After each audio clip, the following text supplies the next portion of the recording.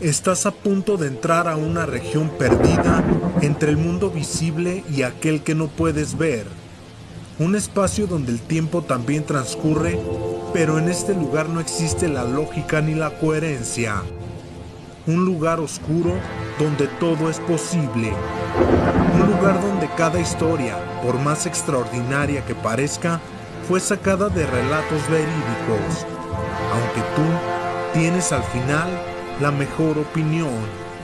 Esto es Encuentros más allá de lo visible.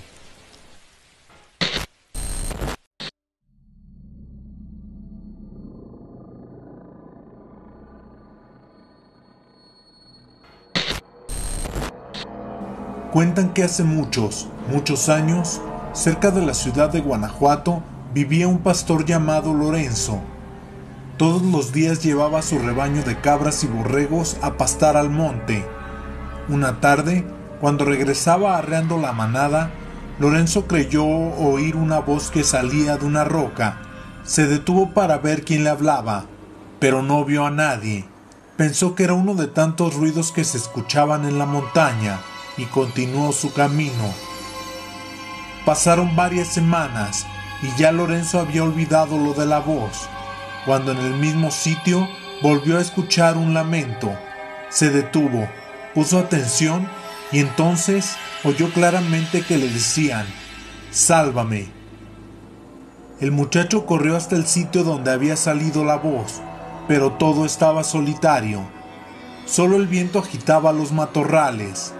Al día siguiente, a la misma hora, Lorenzo volvió al monte y al pasar por el mismo lugar la misma voz lo detuvo. Entonces Lorenzo no tuvo ninguna duda. La roca hablaba. Ven, Lorenzo, decía, un mago me tiene prisionera en esta roca, pero si me levantas y me llevas hasta la plaza del pueblo, quedaré libre del hechizo para siempre. Si lo haces, te daré en recompensa la ciudad encantada que está escondida entre estos montes. El pastor levantó la roca con mucho trabajo, y empezó a bajar por las empinadas veredas de la sierra. De repente, la roca se transformó en una hermosa mujer.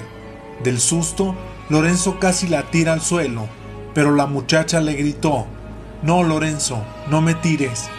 Debes llevarme en brazos hasta el centro del pueblo. No voltees para atrás aunque escuches voces que te amenacen. En efecto, Lorenzo empezó a oír gritos que le ordenaban que se detuviera, pero el pastor animado por la muchacha, no volteaba. Ya llevaba un buen trecho caminando, cuando Lorenzo sintió que alguien le tocaba la espalda. Sin querer, volteó para atrás, y en ese momento la hermosa muchacha se convirtió de nuevo en roca. Lorenzo regresó con su carga hasta lo alto de la sierra y la colocó donde estaba antes. Luego se sentó a un lado, Dicen que los espíritus de la montaña lo convirtieron también en una roca enorme. Desde entonces, cerca de Guanajuato, pueden contemplarse una cerca de la otra, las rocas de la bufa y el pastor.